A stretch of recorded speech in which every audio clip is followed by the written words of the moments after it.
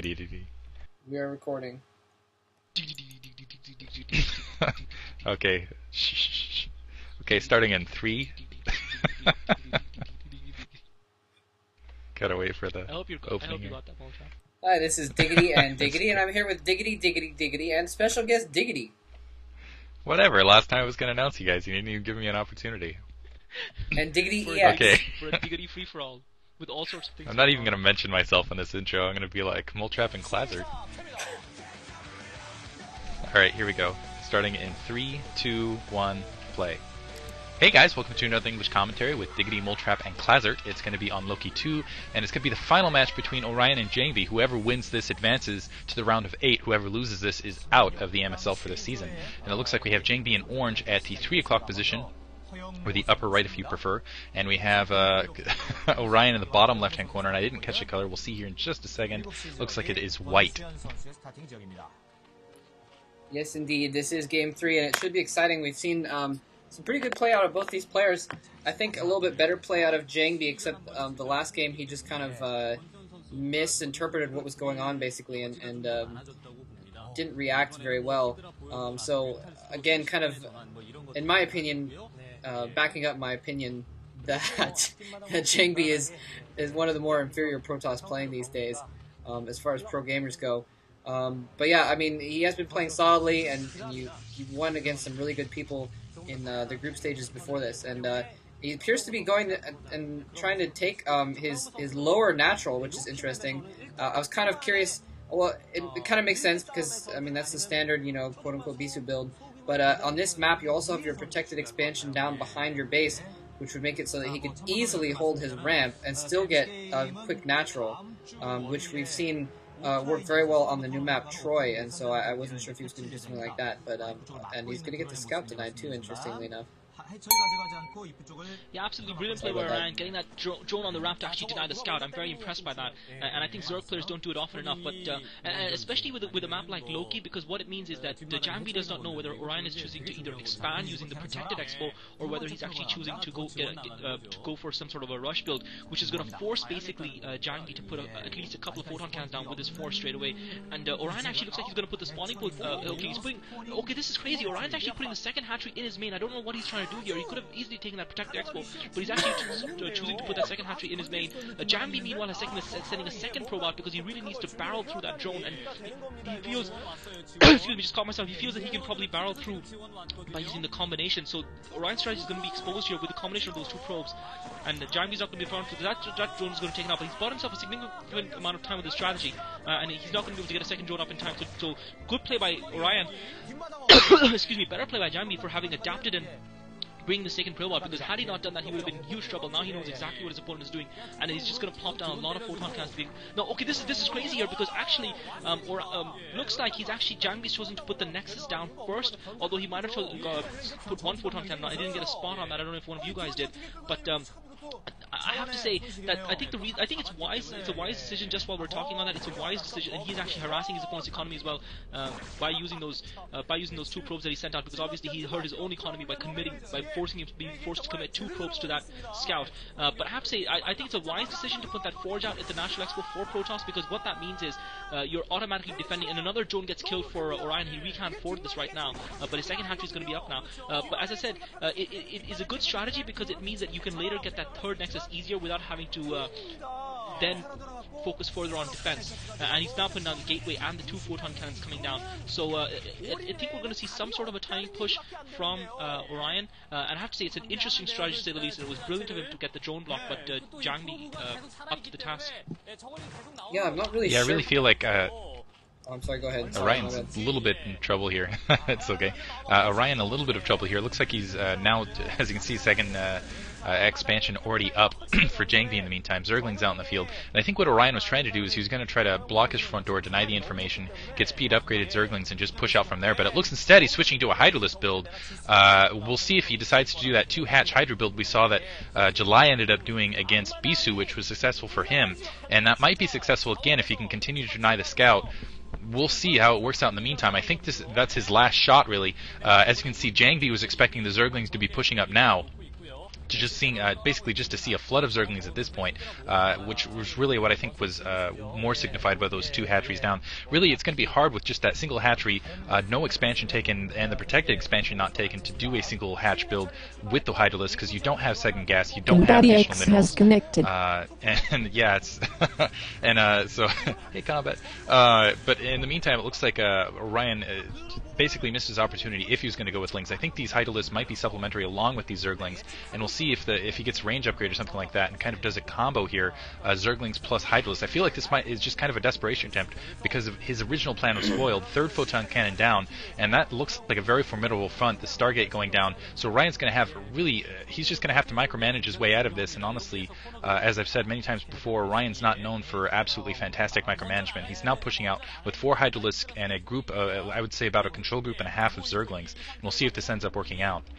I have no idea what yeah, I have to Orion is with Diggity. doing. That uh, I was gonna say I I have no idea what Orion is doing right now, and and especially since he got it scouted out and he's still uh, continuing and persisting with it. Basically, this is Jangbi's game to do with what he wants because Jangbi knows what's going on, um, and it's up to Jangbi to to adapt to. I mean, he's got to know that some sort of rush is coming, uh, some sort of um, quick push is coming of, of some sort, and he is blocking off his door pretty significantly and putting up extra cannons. Um, I'm surprised that he, he isn't putting um, maybe an extra. Well, actually, I didn't see if there's another gateway down. And it looks like Orion coming in here trying to attack, but he doesn't. He's kind of a paltry force attacking here. And probes coming off the line, they're going to be able to hold off those Zerglings pretty easily. And as soon as those cannons warp in, they're not even going to need to warp in because um, this attack is going to get repelled by just those two cannons and a few zealots. Jangbi losing two zealots and a few probes in that entire encounter. And really, and now he's got an expansion up, and he's got superior tech, superior economy, and superior basically everything. I'm pretty sure there's not very much way that uh, Orion can come back in this game now. He doesn't even have an expansion up right now. Yeah, this game is pretty much over. Uh, I think Diggity called it right when he first said that uh, Orion was in a difficult position and Moltrap has, has sealed Jangbi's fate, uh, has sealed Orion's fate for him. Uh, and fortunately for Orion, he did go with that all-in build. It was a brilliant maneuver to try and block off and deny the scout with the drone on a map like Loki. I don't think you could do it on any other map. Loki is the only map where you could do something like that and leave your opponent guessing. But uh, Jangbi was up to the task, and, and, and really that decision to send that second probe out really clinched it for him because he managed to get get in the scout and was therefore knew exactly what his opponent was up to, had the defense, was ready and waiting, and there was literally nothing Ryan could do from that point on. Unfortunately for Ryan, he decided to go all in with a pair of kings. Um, uh, and, and then it turned out that Jangbi had a pair of aces uh, in his hand. So um, Jangbi, Jangbi showing some resilience after some very indifferent play in the, in the second game of this best of three. Uh, but uh, he's, he's renewed our faith somewhat, I have to say, in this. Uh, but though I guess he hasn't really been tested, uh, but nevertheless he's shown he's shown good game sense, good awareness, and, and has, has shown himself to be a very competent player to say the least. And it's just a matter of time before he closes this game out now with the Dark Templar out as well as the Corsairs. Yeah, it's going to be interesting because basically Orion has one more shot at this. He might get lucky, and he's got to protect that Overlord uh, with those Corsairs out in the field. He's got to protect that Overlord if he's going to get any sort of additional attack out. Right now, I think he's just bringing up those Corsairs to be annoying, and I wouldn't be surprised. Yeah, Jangbi's just going to ignore that front his front door, bring the Dark Templar all the way around, and uh, just go go after Jang- uh, I'm sorry Orion's main and end it there. Uh, a couple Hydralisks here waiting in the meantime. More Overlords being attacked in the field, and uh, I would expect it just as soon as maybe one or two more Hydralisks, or, probably not even that. Yeah, here comes the push now, and we'll see if Jangbi can defend against this. I think he's going to be able to defend it against it just fine. Uh, again, going to have to rely on a lot of micromanagement. He's going to get that forge down, but I don't think it's going to make a difference. Reinforcements getting annihilated as they're coming in, and now that Overlord going to go down to those Corsairs. That could be the difference right there. Oh, he managed to hold the Overlord. That could Oh, actually uh, shift it up. this. Oh, unbelievable! I thought that would just be enough, my but I guess uh, pushing in, weapons goes down. Jangbi. Yeah, Jangbi did not manage to hold, so that forge going down, this could actually be significant because if he can manage to get the rest of these uh, Hydralisks up, one more Corsair, uh, he's not actually producing an additional Corsair. I'm surprised.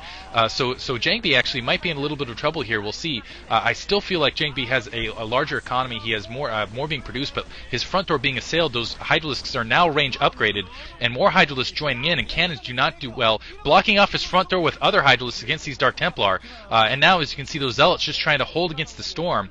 Uh, I'm surprised he hasn't actually produced a second Corsair to try to take out that Overlord in the meantime, because I think his one hope would probably be get some Dark Templar out. He's already got the Gateway inside his base, uh, just producing a lot of Gateway. I guess he's just going to try to hold out for now, getting a second Forge up. Just going to rely on Orion taking his time, which it looks like he is doing. Uh, I would actually assume as soon as the second Hydralisk Force joins up, he's going to get another shot at this. And uh, do you think? Wow! And in the meantime, just going to try to break that front door. And here we're going to see it. We're going to see it right here. Uh, another Hydralisk pushing out, but the Hydralisk is going to get annihilated, and, we're going to see actually both players inside base. Hydralisk pushing up, going, trying to pick off those zealots, try to draw them out, uh, like like Jangbi did for himself in game one. Uh, Dark Templar in the field. Looks like a Sunken Colony going to take care of them. And uh, yeah, this is going to come down to a micromanagement battle right here. But I, th- I, I think Jangbi's going to be able to hold this out with the, this sizable zealot force right here.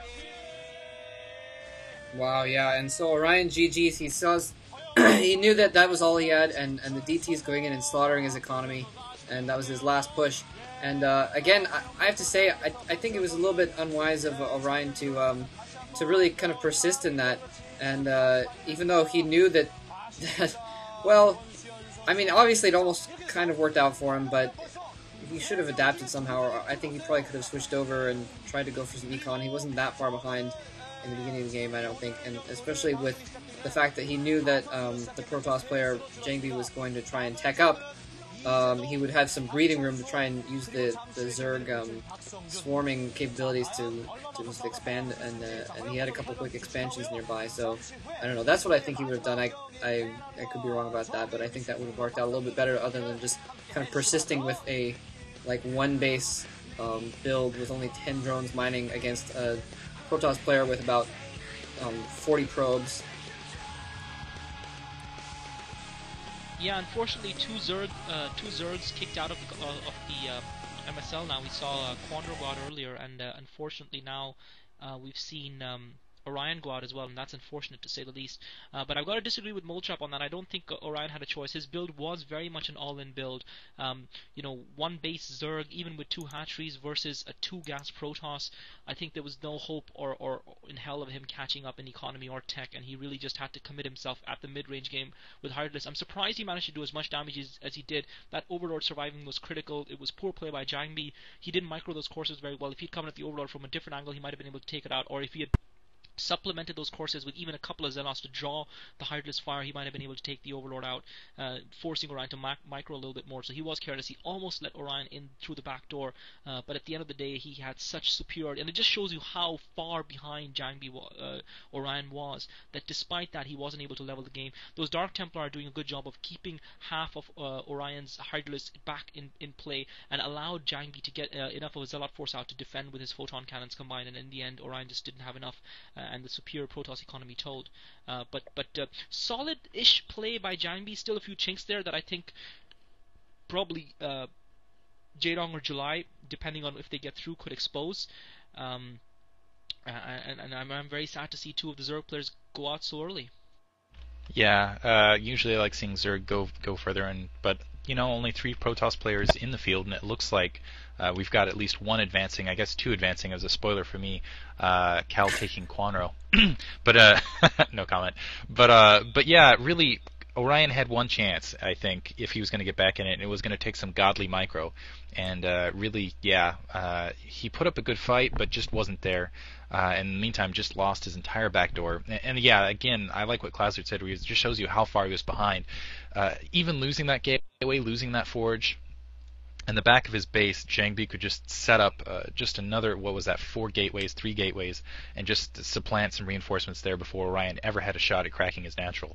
And that just shows you how far B was behind. I'm surprised that he, uh, even going with a kind of, I think he was initially trying to go for a Zergling push. I'm surprised that he still didn't take that uh, that natural just in case. I mean, you can plop it down there, and yeah, it takes another mm, five, six seconds to get up the ramp, but I think it's worth it just to be in a position uh, coming down the line. But yeah, uh, I got to give good game sense to Jangbi, realizing that he really needed to get that scout in just in case and bringing up that second probe, and that was all the difference in this game. I just realized that at the beginning of the uh, game I mentioned a strategy being done on Troy, and I actually meant Demon's Forest, not Troy. Nevertheless. Anyway, I uh, hope you guys enjoyed that. Any last thoughts between you two guys?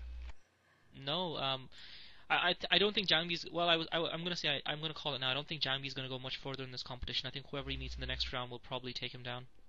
Yeah, he's kind of the 9-10 of this grouping, this uh, season of the certain of MSL. that too. Yeah, so we have our 9-10 officially. The player who advanced, who we kind of feel probably shouldn't have. Um, The crappy Cor- I- I- seed. The crap seed, who will uh, probably in next season grab whomever. But, uh, who knows though? Uh, has it has it a 9-10 seed ever turned out to be awesome down the line? Not that I'm aware of. Yeah, likewise. I mean, Mania was okay, but he ended up getting No, dumped wasn't. pretty quickly. Actually, uh, I thought he was. I thought he was okay. I didn't think he was great. I Can't just thought he stop was The mediocre. Rock, can't stop. A lot the better Rock. than. I thought he was a lot better Rock. than uh, say 910. Can't stop Ugh. the Rock. Can't stop the Rock. Okay. Anyway, uh, guys speaking of that, Yeah. yeah, nine, six seeds out, so a lot of stuff going on, and we're a bit scattered on this one. Hope you guys enjoyed it nonetheless. so uh, yeah, thanks for listening.